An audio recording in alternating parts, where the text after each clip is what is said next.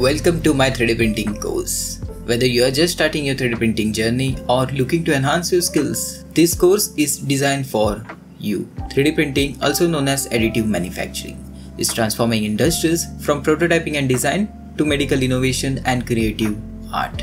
Whether you are exploring it as a hobby, developing functional prototypes, or even starting your 3D printing business, this course will equip you with all the basic knowledge you need to With over 6 years hands-on experience in 3D printing industry, I have carefully designed this course using a mixed practical demonstration, clear visuals and a professional insights. This course covers everything from basic to professional techniques with a focus on FDM desktop 3D printers. We will start with a foundational concept like setting up your 3D printer and calibrating it to gradually move on to the advanced topics like multicolor 3D printing or other various materials.